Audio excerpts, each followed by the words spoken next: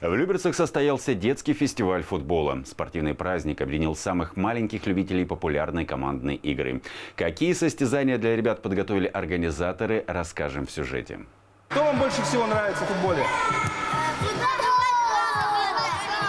Забивать голы? Будем сегодня забивать голы?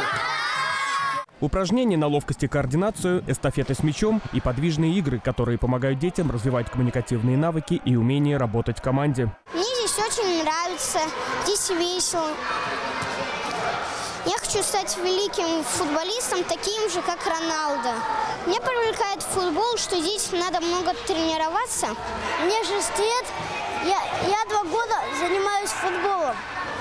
Забивать голы, и у меня вот так получается.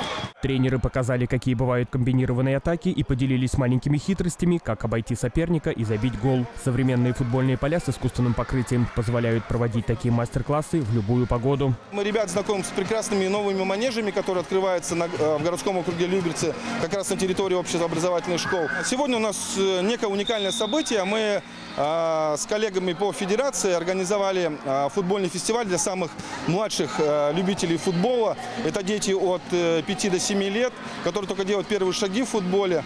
Фестиваль собрал более 40 юных любителей футбола и дал старт осенне-зимнему сезону игр детской футбольной лиги. Богдан Колесников, Сергей Гвоздев, телеканал ЛРТ.